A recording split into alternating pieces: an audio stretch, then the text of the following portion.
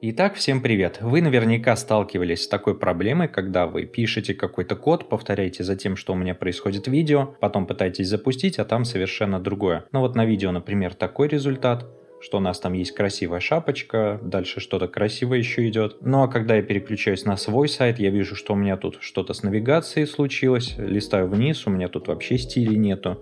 И в целом-то непонятно в чем проблема. Ну и давайте посмотрим, как мы можем это исправить.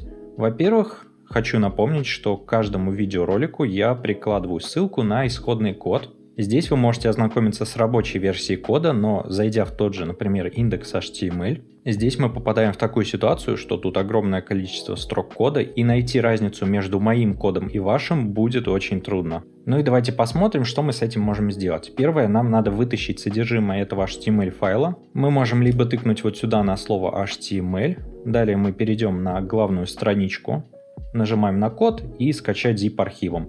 Ну и там мы можем скопировать. Либо мы можем воспользоваться более простой версией и просто скопировать здесь весь файлик. Нажимаем скопировать и переходим на чудо сайт. Ссылочку оставлю в описании. Это div checker. Сюда мы вставляем оригинал, то есть мой код. Далее находим ваш код, также его копируем и вставляем в другое поле. Нажимаем найти разницу и он нам показывает, где я конкретно ошибся. И здесь мы уже можем проанализировать.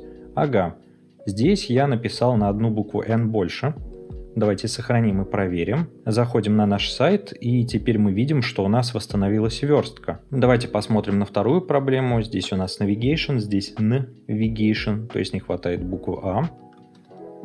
Сохраняем, и теперь наша навигация должна тоже быть красивой и работающей. Ну, в целом да. В общем, используя этот сайт, вы можете более быстро находить ошибки, анализировать их и исправлять. И это повысит качество вашего обучения. А на этом я думаю, что мы можем закончить. Все, всем спасибо, всем пока.